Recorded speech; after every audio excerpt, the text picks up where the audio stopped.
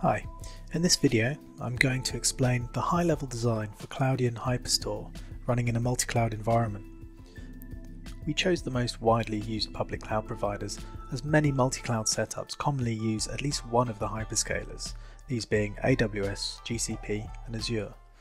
We chose three regions on the west coast of the US to reduce latency, as some deployment options are more sensitive to this. We deployed three load balancers, one for each cloud, and then three Hyperstore nodes in each cloud with a total of nine. This gave the flexibility to run multiple different scenarios including replication, erasure coding, tiering and cross-region replication. The specification of those nodes can be seen here. VPN connections were established between the three clouds which allow for secure communication and the domain mcl.cloudianhyperstore.com was used with the MCL denoting multi-cloud.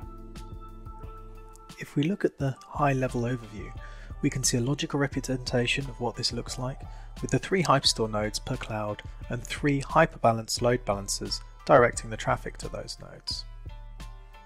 If we delve a little deeper at the network setup, you can start to see some of the underlying architecture in these clouds, such as the virtual networks and VPN connections. Here they are represented as two lines as they're in a highly available configuration. Load balancing in this environment consists of a mixture of layer 7 and GSLB. As mentioned earlier, we're using a combination of layer 7 and GSLB. In this diagram you can see the hyperbalanced load balancers in each location. They have a corresponding external IP address. Now we have delegated gslb.mcl.cloudianhyperstore.com and cmc.mcl.cloudianhyperstore.com for GSLB.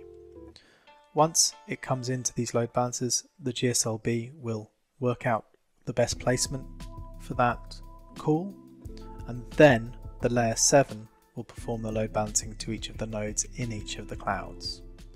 The Hyperstore configuration itself mirrors what we created in each of the clouds. When we click on Cluster, we bring up the Data Centers tab. This shows each of the three nodes in each of the three public cloud providers.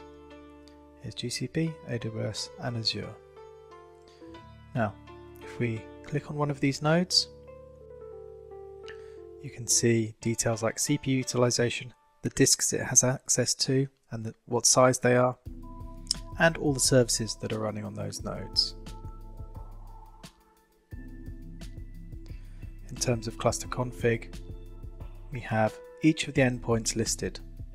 We've got our admin endpoint, our S3 endpoint, and then we do also have S3 endpoints for each of the clouds individually if we wanted to specify exactly where the requests are going.